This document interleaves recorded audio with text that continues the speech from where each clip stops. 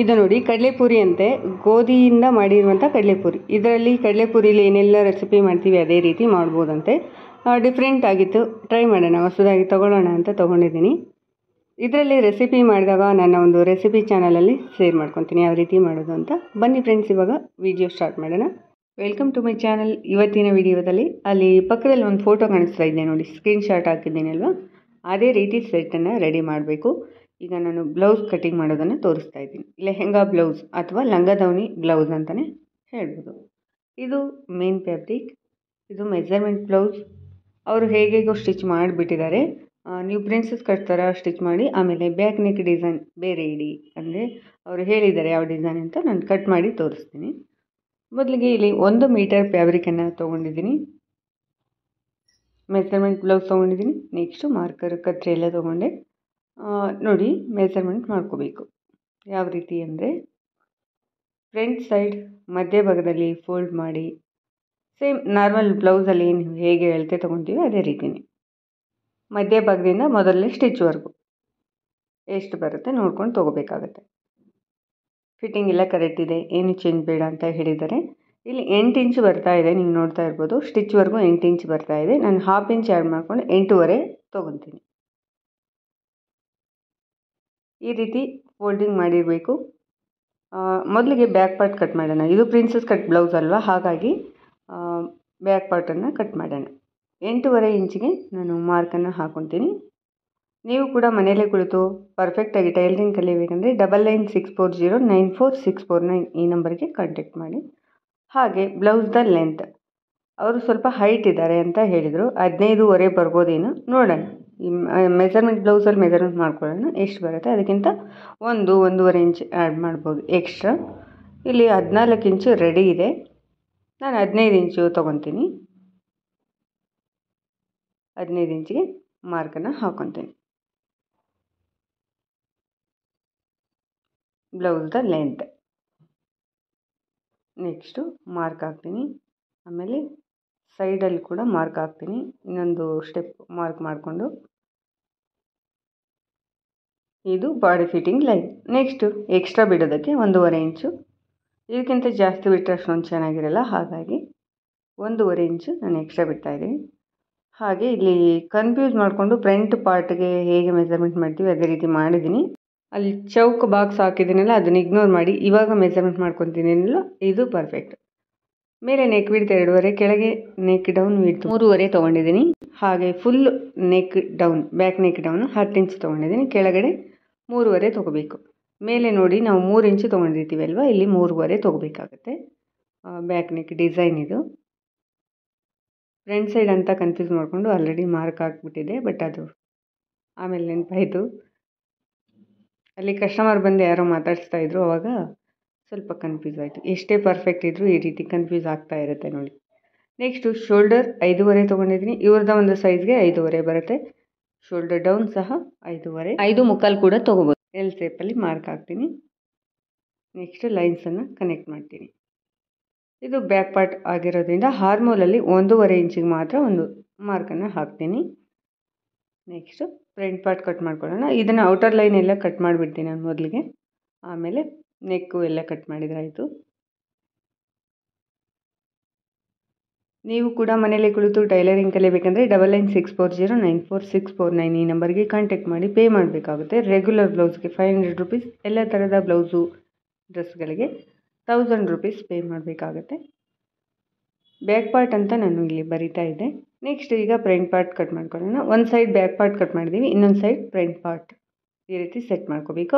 ಮಧ್ಯದಲ್ಲಿ ಬರುವಂಥ ಬಟ್ಟೆ ಇದೆ ಅಲ್ವಾ, ಅಲ್ಲಿ ಸ್ಲೀವ್ ಕಟ್ ಮಾಡ್ಕೋಬೇಕಾಗುತ್ತೆ. ಸ್ಲೀವ್ ಕೂಡ ಗುಬ್ಬಿ ಡಿಸೈನ್ ಸ್ಲೀವ್ ಅಂತ ನಾನು ಆಲ್ರೆಡಿ ವಿಡಿಯೋ ಅಪ್ಲೋಡ್ ಮಾಡಿದ್ನಲ್ವ? ಅದೇ ಡಿಸೈನ್ ಹೇಳಿರುವಂಥದ್ದು. ಒಂದು ಇಂಚ್ ಎಕ್ಸ್ಟ್ರಾ ತೊಗೊಂಡಿದ್ದೀನಿ. ನೋಡ್ತಾ ಇರ್ಬೋದು. ಪ್ರಿಂಟ್ ಪಾರ್ಟ್ ಇದು ಸಹ ಈಗ ಔಟರ್ ಲೈನ್ ಕಟ್ ಮಾಡಿಬಿಡೋಣ ಮೊದಲಿಗೆ. ಇದಾದ ನಂತರ ಫ್ರಂಟ್ ಪಾರ್ಟಲ್ಲಿ ಡ್ರಾ ಮಾಡ್ತೀನಿ. ಎಲ್ಲೂ ಸ್ಕಿಪ್ ಮಾಡದೆ ವಿಡಿಯೋ ನೋಡಿದರೆ ನಿಮಗೆ ಕಂಪ್ಲೀಟಾಗಿ ಅರ್ಥ ಆಗುತ್ತೆ. ಈಗ ಎಕ್ಸ್ಟ್ರಾ ಎಲ್ಲ ಕಟ್ ಮಾಡ್ಕೊಂಡಾಯಿತು ನೆಕ್ಸ್ಟು ಬಾಡಿ ಫಿಟ್ಟಿಂಗ್ ಸ್ಟಿಚ್ ಎಲ್ಲಿ ಮಾಡಬೇಕಂದ್ರೆ ಸೇಮ್ ಬ್ಯಾಕ್ ಪಾರ್ಟ್ಗೂ ಫ್ರಂಟ್ ಪಾರ್ಟ್ಗೂ ಸೇಮ್ ಇದೇ ಥರ ಒಂದೂವರೆ ಇಂಚ್ ಎಕ್ಸ್ಟ್ರಾ ಬಿಟ್ಟು ಮಾರ್ಕನ್ನು ಮಾಡಬೇಕಾಗುತ್ತೆ. ಆಮೇಲೆ ಈ ಸೈಡು ಒಂದು ಮುಕ್ಕಾಲು ಇಂಚು ಈ ರೀತಿ ತೊಗೋಬೇಕಾಗುತ್ತೆ ಕ್ರಾಸಾಗಿ ಇದು ಹಾರ್ಡ್ ಬಾರ್ಡ್ರ್ ಎಕ್ಸ್ಟ್ರಾ ಬಿಟ್ಟಿದ್ದೆ ನಾನು, ಇದನ್ನೆಲ್ಲ ಕಟ್ ಮಾಡಿ ತೆಗೆದುಬಿಡ್ತೀನಿ.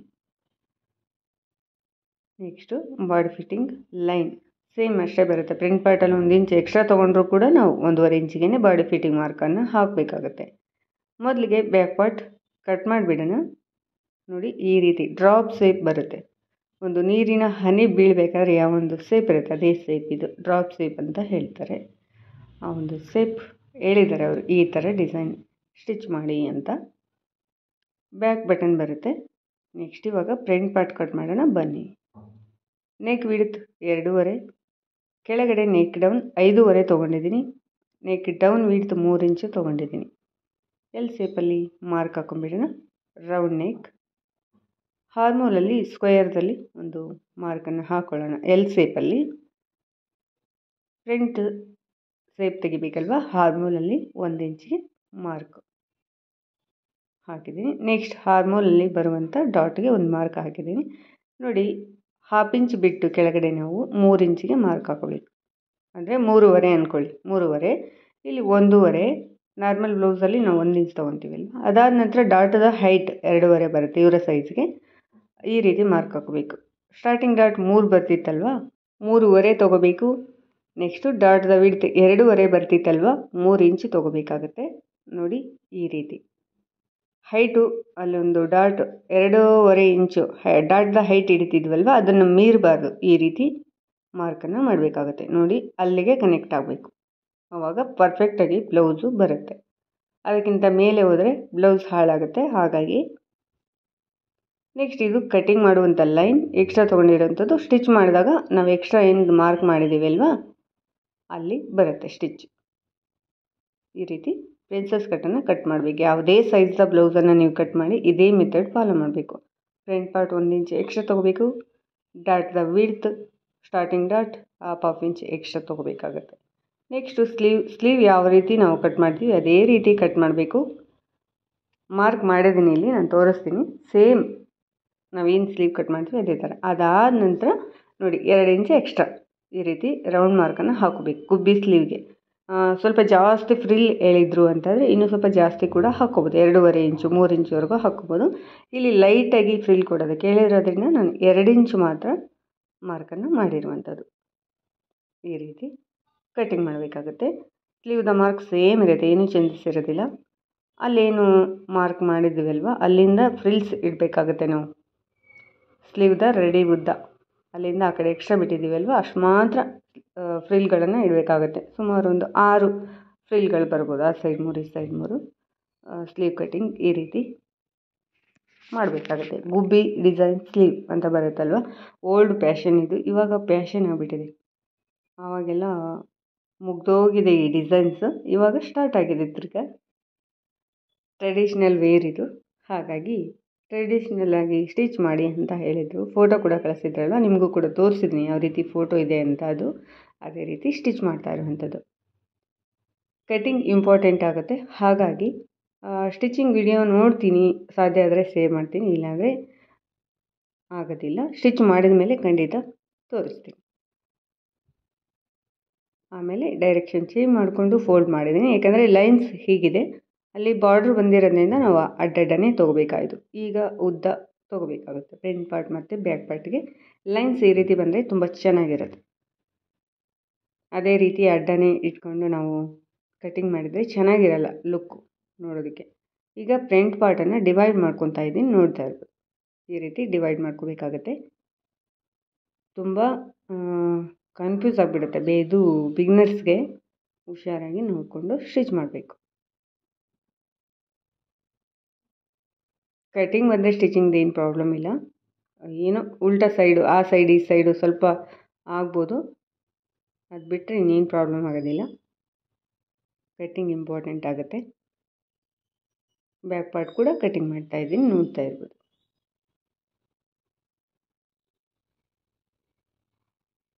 ಫ್ರಂಟ್ ಪಾರ್ಟ್ ಆಯಿತು, ಬ್ಯಾಕ್ ಪಾರ್ಟ್ ಆಯಿತು, ಸ್ಲೀವ್ ಡಿಸೈನ್ ಕೂಡ. ಬಾರ್ಡ್ರ್ ಏನು ಕೊಟ್ಟಿದ್ರಲ್ವ, ಅಷ್ಟು ಉದ್ದ ಬಂದಿದೆ ನೋಡಿ ಸ್ಲೀವು. ಸೇಮ್ ಒಂದು ಹನ್ನೆರಡು ಇಂಚ್ ಉದ್ದ ಏನು ಇದೆ ಅದು ನೆಕ್ಸ್ಟು ಇದು ಕೆಳಗಡೆ ಎಮ್ಮಿಂಗ್ ಪಟ್ಟಿ ಕೊಡ್ತೀವಿ ನೋಡಿ. ಬ್ಲೌಸ್ದ ಲೆಂತ್ ಕೆಳಗಡೆ ಅಳತೆ ತೊಗೊಂಡಿದ್ದೀವಿ ಅಲ್ವಾ, ಅಲ್ಲಿ ಟರ್ನಿಂಗ್ ಮಾಡ್ತಾ ಇಲ್ಲ. ಆಮೇಲೆ ಎಕ್ಸ್ಟ್ರಾ ಫೋಲ್ಡಿಂಗು ಬಿಟ್ಟಿಲ್ಲ, ಹಾಗಾಗಿ ಇದನ್ನು ಕಟ್ಟಿಂಗ್ ಮಾಡ್ತಾ ಇದ್ದೀನಿ. ಪೀಸ್ಗಳು ಬೇಕಾಗುತ್ತೆ. ಫ್ರಂಟ್ ಸೈಡ್ ಬ್ಯಾಕ್ ಸೈಡ್ ಹಾಗೆ ಟೈಯಿಂಗಿಗೂ ಕೂಡ ಬೇಕಾಗುತ್ತೆ.